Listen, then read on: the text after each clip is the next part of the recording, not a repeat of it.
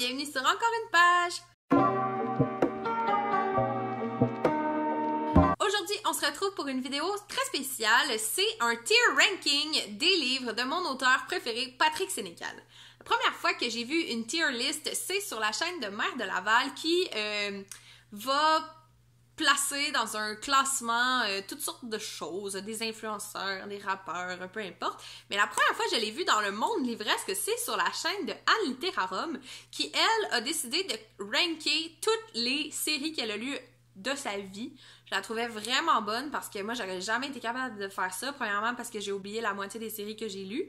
Je me suis dit que je pourrais ranker tous les livres que j'ai lus de Patrick Sénécal, c'est-à-dire euh, que je les ai tous lus, sauf les nouvelles. Ça, j'en ai lu quelques-unes, mais je trouve que c'est pas euh, égal de mettre ça euh, dans un top de roman. Tu sais, un roman de 550 pages versus une nouvelle de 10 pages. Je pense pas qu'il a mis le même temps pour... Euh, peut-être, là, mais je pense pas que c'est le même travail qui est derrière un et l'autre. Puis des fois, les nouvelles, c'est plus un exercice de création, de voir s'ils sont capables de sortir de leur genre littéraire. Puis je les ai pas tous lus, fait que bref, je me concentre sur les romans. Autre chose, il y aura pas Madame Wenham parce que je l'ai pas lu encore. C'est la suite de 7 comme 7 heures, fait que je l'ai pas lu. Finalement, euh, j'ai choisi de mettre euh, Malphas comme une série et non chaque tome parce que ça fait ça remonte à un bout là à comme plus de 5 ans que j'ai lu cette série là, fait que je pourrais pas vraiment dire oh, j'ai plus aimé le tome 3 que le tome 2, mais c'est quatre romans donc euh, ça va être représenté par une image mais je vais ranker cette série là dans, euh, dans, son ensemble. C'est la première fois que je fais ce genre de vidéo-là, fait que j'espère que ça va bien fonctionner. Je me suis mise ici, là j'espère que mon écran enregistre parce que tantôt ce n'était pas le cas. Donc j'ai dû recommencer. Euh, j'espère être aussi spontanée que la première. Je vais commencer par vous présenter chacune des catégories que j'ai choisies. Premièrement, en haut de la liste, il y a la catégorie coup de cœur. Donc ça, c'est un livre que je me rappelle très bien ce qui s'est passé. Je me rappelle de l'intrigue, des personnages, de comment je me sentais en lisant comme si c'est resté gravé dans mon cœur, ce livre-là, je l'aime d'amour. Ensuite de ça, on a la catégorie Wow, qui est un très bon livre, je le recommande. Euh, peut-être que j'ai oublié certaines affaires, ce qui montre que ça m'a peut-être un peu moins marqué que ceux de coup de cœur. Après ça, on a la catégorie Ben correct. C'est un livre qui est correct. C'est bien. pour l'intention de le relire, c'est ça. On a la catégorie Me, ça, c'est un livre que j'ai moyennement aimé. Catégorie No Way José, ça, si je le recommande pas, passez votre tour, s'il vous plaît. Je, sais, j'ai pas tant aimé ça. Et Poobs, j'aurais aimé mieux ne pas le lire. Genre, j'ai perdu mon temps à lire ce livre-là. Fait que, premier roman que je vais ranker, c'est Sur de la bas C'est le dernier livre de Patrick Sénécal. Euh, je l'ai lu dans le coin de Noël cette année et j'ai vraiment aimé ça. Ça faisait quelques livres de Patrick Sénécal dans les dernières années qui me plaisaient moins. Fait que je sais pas si ma réaction, tu mon appréciation vient du fait que j'avais donc hâte d'avoir un coup de cœur de Patrick Sénécal ou si c'était vraiment un bon livre. Je crois qu'il y a une partie, une grande partie que c'est moi qui euh, avait besoin que ça m'accroche, tu sais. Fait que je pense que pour ça, je vais le mettre dans la catégorie wow. Euh, on a ensuite Fin, qui est un livre que j'ai pas tant aimé.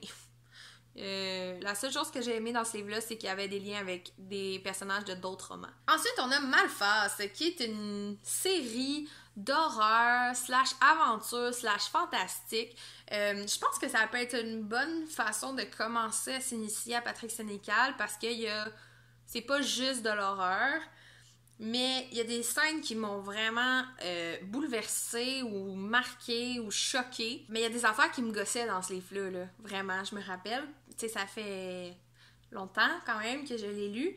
Euh, je sais pas si je mets ça dans Wow ou dans Ben Correct parce que euh, je me rappelle pas exactement de tout, mais c'est sûr c'est quatre romans. Là. Ce serait difficile de tout me rappeler.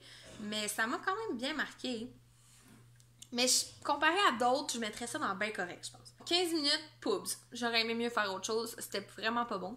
Euh, quand Patrick Sénécal était venu à l'école secondaire nous faire une conférence, il nous parlait qu'il était en train d'écrire ce roman-là. Puis il s'inspirait de vidéos viraux sur Internet. Et à ce moment-là, ce qui était très populaire, c'était euh, Mon père est riche en tabarnak, puis euh, Heineken, Corona, Heineken, pas le. Puis il se demandait pourquoi les gens avaient du succès. Puis là, c'était comme un gars qui veut avoir du succès sans faire vraiment d'efforts. C'est ça. Genre, on dirait que. J'ai pas tant aimé ça. Je me rappelle de rien. Les personnages m'avaient gossé, ça, je me rappelle. Le sujet m'a pas tant interpellé. Euh, passez votre tour. Contre Dieu, ça fait très longtemps que j'ai lu ça. Je me rappelle vraiment pas de quoi ça parle. Je me rappelle du style d'écriture que, tu sais, c'est quand même un roman court, mais c'est écrit en une seule phrase. Ce qui fait que le rythme de lecture est vraiment rapide.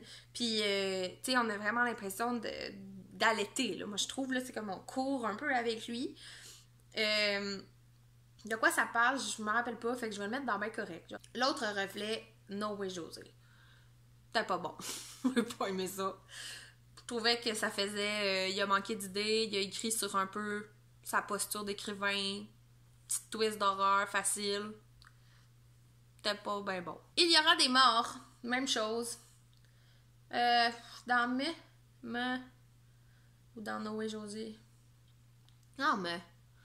Euh, une affaire que j'ai vraiment aimé dans Il y aura des morts, c'est qu'on connecte avec d'autres livres qu'il a fait. Fait que ça, c'est vraiment le fun. Mais en gros, il y a une grosse chasse à l'homme qui dure, je pense, 150 pages.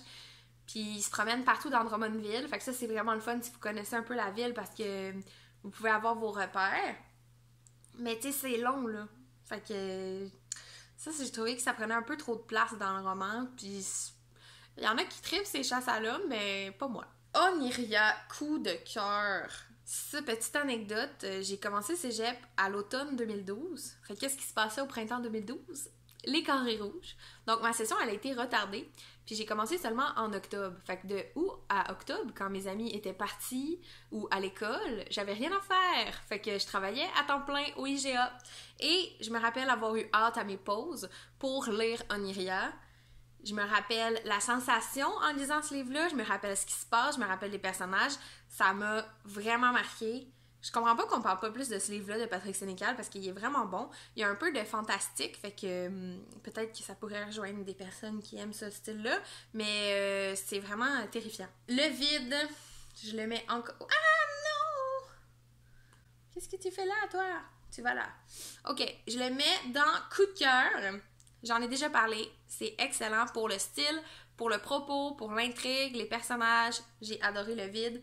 Là, j'ai pris la couverture que c'était la partie 1, là, mais c'est pas un livre qui se lit en deux parties. Là. Ils, ont, fait deux parties pour vendre plus de copies, mais moi je lis en une partie, ça fait à peu près 700 pages. Lisez-le au complet. L.com, euh, encore un gros coup de cœur. Euh, L.com, ça fait vraiment peur par son réalisme. Euh, je le recommande. Vraiment, chaudement. J'ai adoré ce livre-là. Euh, 51-50 rue des Hommes. J'ai vu le film, j'ai lu le livre, et c'est quand même équivalent. Dans le livre, il y a un petit peu plus de psychologique que dans le film, mais. Mais c'est bon, genre, c'est vraiment bon. Mais je sais pas, je pense que c'est quand même connu comme histoire, hein. Fait qu'on dirait que je vais le mettre dans Wow parce que dans ma tête, on dirait que c'est moins original parce que c'est connu, mais c'est juste parce que c'est ça, il y a beaucoup de monde qui la connaît cette histoire-là. Fait, que 51-50, je le mets dans Wow. Pas un coup de cœur, mais c'était très bien pareil. 7 comme 7 heures, c'était pas bon. ben, c'est un roman pour enfants de 8 à 10 ans, mais je trouvais qu'il y avait pas vraiment le style de Patrick Sénécal, on le retrouvait pas.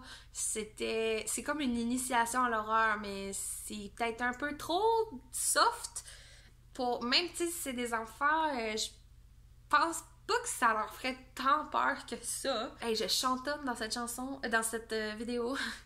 mais non, 7 comme 7 heures, no way José.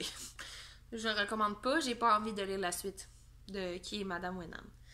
7 jours du talion, je crois que c'est le seul livre que je n'ai pas lu parmi la liste, mais j'ai vu le film plusieurs fois. J'ai pas l'impression qu'il me manque une partie de l'histoire en écoutant le film.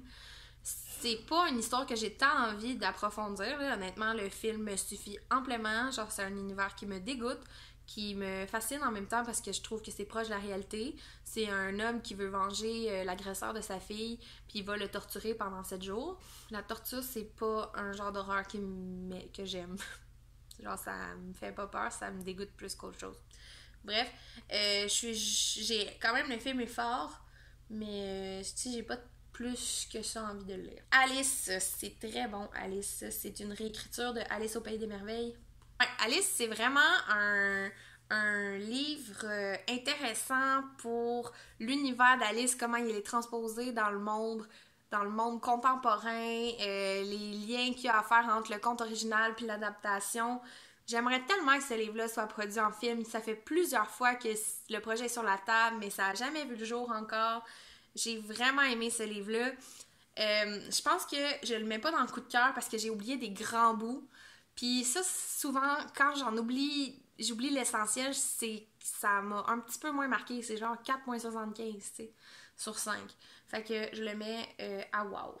Sur le seuil, un autre très très bon roman adapté en film, lui aussi. Je pense que pour, comme Malice, je vais le mettre à cette place-là pour la même raison. J'ai adoré ce livre-là. J'ai adoré le film, mais euh, je me rappelle pas de tout. Je me rappelle de la fin. La fin m'a vraiment marqué. Mais le reste, euh, c'est un peu vague, fait que je le mets dans wow. Peut-être que je voudrais les relire, euh, ces deux-là, ça pourrait aider. D'ailleurs, euh, c'en est deux que j'ai pas chez moi. finalement, Le Passager, c'est un roman qui est souvent lu à l'école secondaire parce que c'est quand même soft, c'est entre le policier puis l'horreur. Ce livre-là m'a marqué là, parce que à chaque fois que je vois quelqu'un qui fait du pouce, un autostoppeur, je pense à ce livre avec une petite euh, frisson dans le dos. Mais c'est soft. C'est vraiment pas si terrifiant que ça. Puis c'est accessible, c'est dans le sens où euh, ça fait. C'est ça. C'est, si vous êtes un peu n'importe qui est capable d'apprécier ce genre de, livre-là, c'est pas trop dans l'horreur. Fait que je pense que je vais le mettre dans Wow. Dans Wow ou dans Ben Correct? Non, non, mais correct, tu sais. J'ai pas envie de le relire. Mais c'était bien. Bon, je le recommande, mais une fois c'était assez. Fait que, juste un petit récap. Dans Coup de cœur, j'ai mis Le Vide, L.com et Oniria. Je suis très satisfaite de ces euh, choix. Dans Wow, j'ai mis Alice. Ceux de là-bas, 5150 rue des Hommes et Sur le Seuil. Ah, J'hésite à mettre Alice dans Coup de cœur si je le relis un jour, peut-être qu'il montera. Parce que ça va peut-être être plus frais dans ma mémoire. Et euh, bien correct, dans cette catégorie-là, il y a Le Passager, la série Malface, Contre Dieu et les sept jours du Talion. Dans la catégorie il y a Fin et Il y aura des morts, ça je suis très satisfaite. Noé José, il y a L'autre reflet et 7 comme 7 heures. Et dans Pubs, il y a 15 euh, minutes très, très satisfaite de mon choix. Fait que c'est déjà tout pour aujourd'hui. J'espère que vous avez apprécié ma vidéo. Dites-moi dans les commentaires si euh, vous êtes d'accord avec mon classement, s'il y a des livres que vous auriez mis plus haut, plus bas, euh, si vous lisez premièrement Patrick Sénécal. Là, je dois pas être la seule, maudit, à lire. C'est quand même un auteur populaire. Euh, moi, j'y peux rien. Là. Je sais que c'est défaut, mais je l'aime pareil. Puis j'ai décidé d'arrêter de combattre mes goûts. S'ils sont populaires, ils sont populaires, that's it. maintenant, on gagne pas euh, en noblesse là, en aimant des affaires étranges que personne d'autre aime. Bref, ça c'était mon mes deux scènes. Euh, je vous souhaite du succès dans vos projets et dans votre vie et on va se revoir très bientôt.